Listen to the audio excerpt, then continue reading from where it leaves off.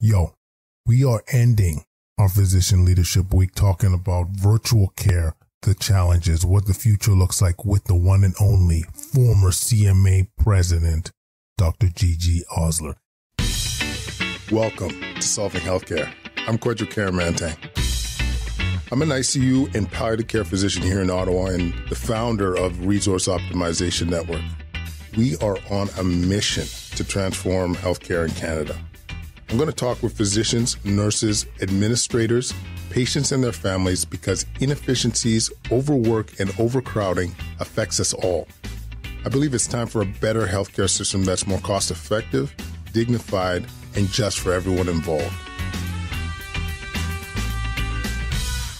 Welcome back, everybody. As I said, this is the tail end of our Physician Leadership Week. We had our previous episodes with Mamta Gautam and Phil Wells, and we're ending it with the one and only Gigi Osler. Guys, we're approaching a year on the show. It's crazy. We've been producing a lot of content, and we would just love to hear back from you. What have you enjoyed? What have you learned? What do you want to hear more of? You know, leave a comment at kwadcast99 at gmail.com. We really want to get a sense of what you want and what pushes you, what really lures you to the show. Cause we, we want to keep hustling. We want to keep producing that awesome content. Cause I got to say, when you look back at a year, we have covered a lot, son. So yeah, it'd be great to hear from you guys. And to support the show, guys, it would be great if you could leave a five star rating on Apple Podcasts as well as a review. All this helps with our visibility and reaching out to more people because you know what we're trying to do. We're trying to change that boogie, changing the boogie. Last thing, last housekeeping thing. If you haven't looked into our low carb summit, it was amazing with Ivor Cummins, with Joy Kiddie, with Dr. Paul Mason, and uh, the feedback has been incredible. For twenty nine ninety five, you'll get knowledge dropped on you in terms of the low carb and keto space. And once again, guys, we are on a mission of just trying to get y'all healthier. I can't reinforce this enough how it's clear that poor metabolic health is a huge risk factor for when it comes to COVID-19. So let's preach this. Let's get healthier. This is just one tool in the arsenal. You can go to solvinghealthcare.ca backslash low carb and hit it up. Okay. Let me tell you about our guest today, Dr. Gigi Osler. She is a former president of the Canadian Medical Association. She is an ear, nose, and throat specialist at St. Boniface Hospital in Winnipeg. She's a leader. She is an innovator and she led a task force when it came to discussing the barriers of virtual care. So, I mean, we're in the middle of a pandemic and virtual care has come to the forefront, which has been great. One of our first shows, episode four with Dwayne Hickling was talking about this content. And I just think it's such a great tool for people to be able to get great access to docs. So, but there are barriers, you know, and and so she created this task force and basically trying to provide sustainable, standardized and safe and effective remote care from patients all across the country.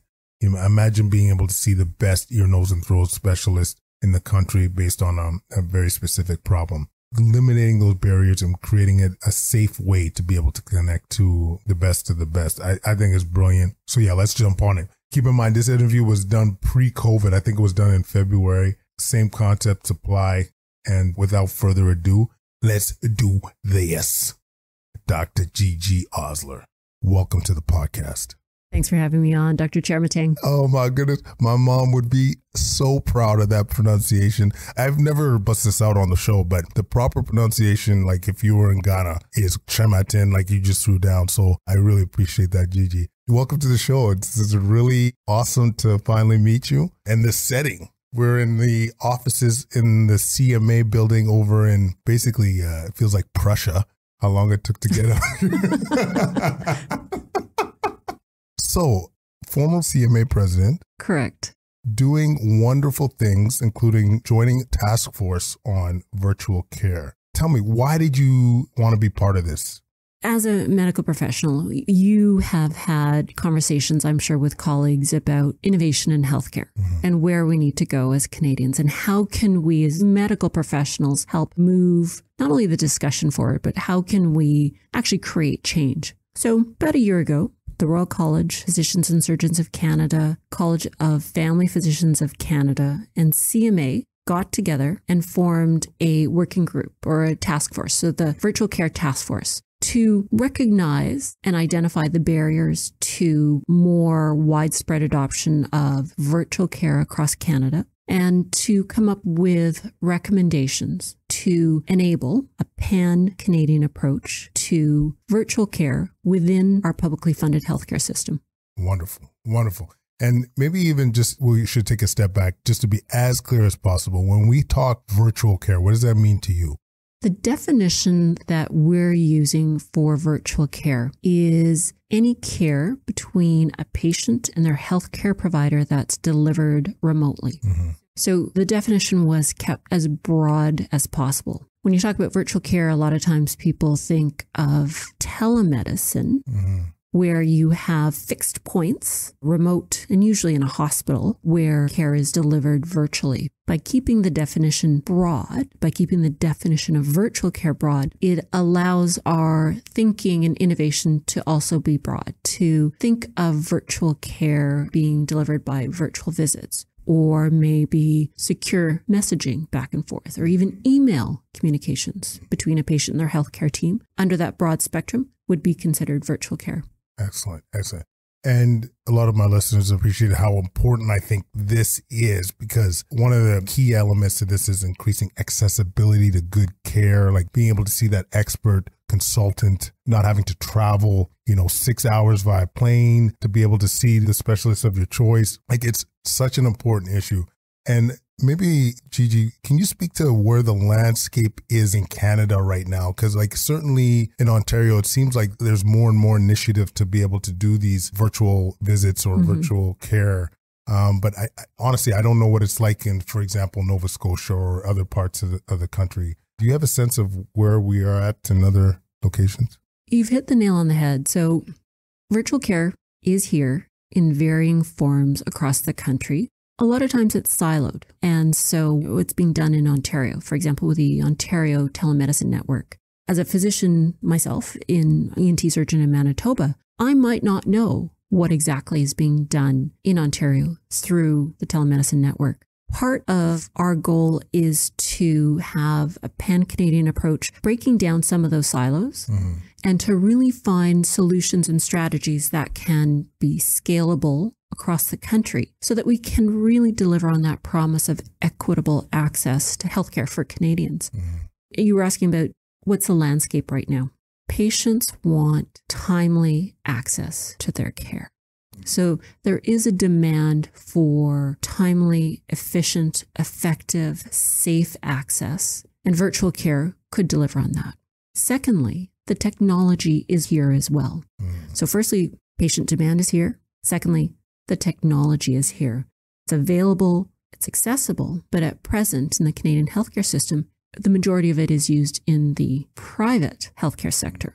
And finally, this report is done by medical professionals. So the three groups I already mentioned, and we had input from multiple different stakeholders. So Resident Doctors of Canada, CMPA, Federation of Medical Regulatory Authorities of Canada, Association of Faculties of Medical Colleges of Canada, AFMC. Mm-hmm. Along with several others. So it's a report where we've been able to have input from all the major stakeholders to come up with the recommendations from the medical professionals. And most importantly, we had patient representation. So we had folks at the table who were representing patients, families, and caregivers.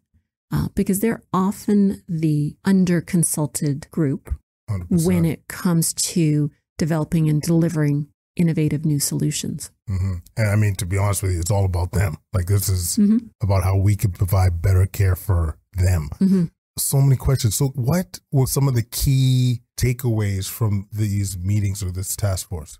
We came up with a series of five recommendations. So, the task force had four different working groups, and the working groups were on interoperability and governance, licensure and quality of care, payment models, and medical education. And there are common themes throughout each of the groups, and each of the groups wanted to ensure that, regardless of the way the care was delivered virtually, it would be of the same standards, quality, safety, privacy as an in person visit, recognizing that perhaps not every type of patient visit could be done virtually. Mm-hmm. But of the five recommendations, Uh, maybe I'll highlight three of the recommendations sure. for you. The first is for a framework to ensure the safety and quality of virtual care services. Because right now, there really isn't any national standard or national framework. And so that's important, I think, to design and have in place as the technology advances and spreads. Mm-hmm. Second recommendation I'll highlight for you national standards for patient health information access. You've got different patient portals and sometimes multiple different patient portals within the same jurisdiction. Um, you've got provinces like Alberta, which has a province wide patient portal, but there's no standards just in terms of access, privacy, security, interconnectivity. And that's what patients want. I mean, we all want to have a single medical record that we can access as mm-hmm. patients from anywhere across the country. Uh, you want to make sure it's secure and you want to make sure the people you want to have access to it get access to it. Mm-hmm. The final of the recommendations that I'll highlight, and keep in mind there's five, this is the third, is national licensure for physicians so that we as physicians can provide virtual care across provincial and territorial boundaries. And that's something that I'm happy to report on is in the works and has made significant progress over the last year. Yeah. So to be clear, if you are a physician in Manitoba and you want to be able to address a patient in Ontario, right now your license does not allow that or is not consistent with that practice. And some provinces have a specific telemedicine license. Some provinces may have agreements or, you know, some sort of framework, but it's certainly not consistent across the country. And uh, we have underserviced areas within our provinces and territories, which really would benefit, their patients would benefit from reduced or streamlined process for mm-hmm. physicians to get licensed in that province and uh, some national form of licensure to allow for virtual care across boundaries. Yeah. I mean, if you think about some of the upside there, like, you know, someone in BC that's an expert in a specific kidney condition that's rare, that, you know, there's only a, a half a dozen cases in the country to be able to have that conversation with Dr. X, wow. Mm-hmm. You know what I mean? And it's like you said, it's 2020. That technology exists. You know what I'm saying? The demand is there. Mm-hmm. I, I got to commend the CMA for at least trying to, and the task force to try and get on top of this. Cause my biggest fears always is when organizations come up with, you know, frameworks and so on that sometimes it could slow the process down, right? Mm-hmm. But what I'm hearing from you guys, that's not the purpose. You're happy to aid in the development of these models. And I think this is what's exciting.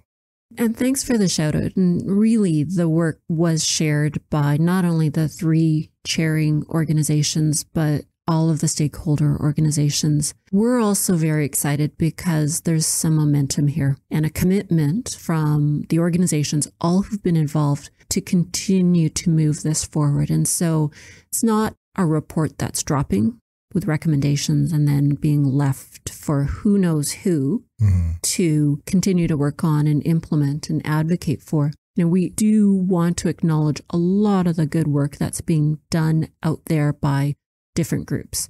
Ontario Telemedicine Network, Canada Health Infoway, Canadian Foundation for Healthcare Improvement. Let's work with, let's collaborate, let's leverage some of the work that's being done so that we can continue to move this forward and interact with our federal and provincial governments to make some of these recommendations a reality. Mm-hmm. Um, because the truth is, if we don't do this, right now within our publicly funded healthcare system, these services are here in the private sector. Mm-hmm. And if we don't innovate our public health system, that gap's only going to widen between those who can access it, afford it, and know how to use it versus the Canadians who can't afford it, can't access, and don't know how to use it. And so we will see more inequity and we'll see more of a gap if we don't have these conversations and start investing in technology, in virtual care in the Canadian system. Absolutely. And you think of the purpose of having these virtual clinics, virtual uh, care is to improve that accessibility, improve the equity. There's so much upside too. Like if you think about some of the common problems that we're seeing in Canadian healthcare, it's questions around wait times, it's around getting that access to that specialist. Mm-hmm. And these things, these measures are what's actually going to reduce wait times. You know, like If I know that I could have a five minute visit, for example, on my tablet with my doc, and you know that saves me from having to find parking, it saves me from doing all this uh, travel, taking time away from work. Maybe my daughter needs to help me to be able to get to the clinic. Like it's just so much more efficient. And whatever we need to do, honestly, to make this happen is to me is a priority. And you touched on something important there, and I, I'm not even sure if you realized you touched on it. You were talking about care with your doctor or care with your daughter's doctor. To make this efficient, to make this really deliver on better health care for Canadians, we also looked at virtual care should be a continuity of care with the primary health care provider, not episodic. Yeah, that's a good point. Which is a little bit of what we see right now with some of the private healthcare services. It, it's episodic, it's not with the person's primary care physician. And so to really deliver on the promise of better, timely, effective, safe, efficient healthcare, we believe it should promote that continuity of care and not be episodic. Yeah, fair enough. In your experience or exposure with the task force, you mentioned like some groups that are doing this well, like whether it's Ontario Telehealth or whatnot. Like, what is it about some of these organizations or groups that have shown signs of success? Well, we've talked about Ontario. And so, with the uh, help of the OMA and the Ontario Telemedicine Network, they've been able to negotiate fee schedule mm. so that a virtual visit pays the same as an in care visit. Revenue neutral. We do want to ensure that there are standards in place, that there are guidelines in place, the policies are in place so that virtual care can deliver Mm-hmm. Um, on all of those provinces and, and not be seen, particularly by governments, as an extra expense on top of the public health care system. For physicians, it's a lot about making our practices more efficient. Mm-hmm. And so that's where some of the hard work needs to come into place. And, uh, you know, for example, the Northwest Territories, we want to look at another example as a territory, they've got a single medical record for each person that lives there that's accessible at all of the different communities, healthcare centers, hospitals. So they are an example where they have been able to implement that for all of the citizens in that territory. Multiple examples of what's being done well. Uh, we just have to identify what works. Can it be scaled? And do we have the standards and the policies and the legislation and a framework in place to ensure that the care that's delivered virtually is equal to the care that would be delivered in person. Okay, Gigi, I should ask. Like I can speak for my family members or the people I know. They would love to have that more access to virtual care. But is there a is there numbers out there or anything that we know about amongst Canadians that say they would want it or even amongst us Canadian docs that we would be willing to provide virtual care? Is there anything out there to kind of reinforce that? From the docs that I've spoken to and the doctors that I know, we all want our practices to be as efficient as possible. We want our patients to have timely access to care. And some surveys were done over the last year that I've seen. Over 70% of Canadians would take advantage of virtual healthcare visit if they could do it.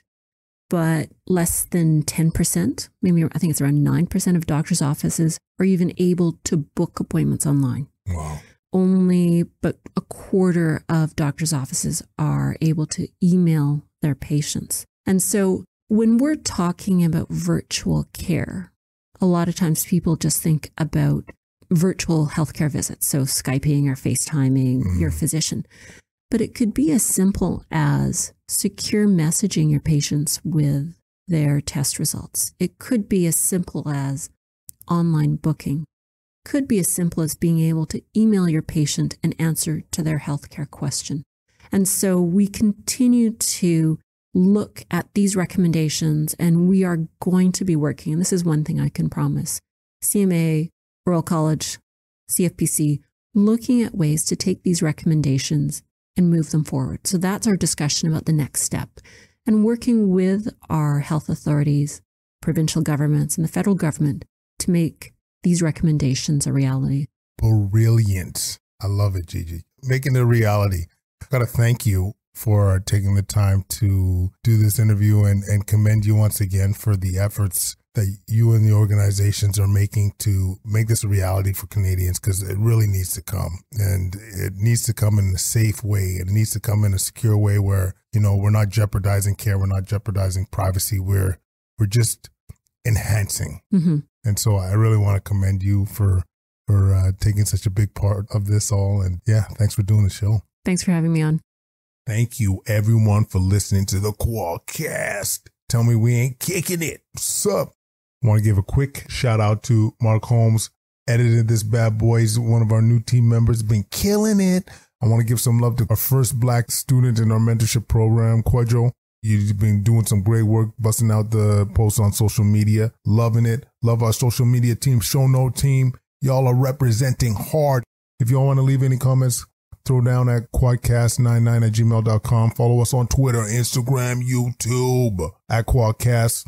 Listen, I just want to appreciate all the positive feedback and y- y'all reaching out and we're going to continue to hustle guys. So thank you so much and we'll connect again real soon. Peace.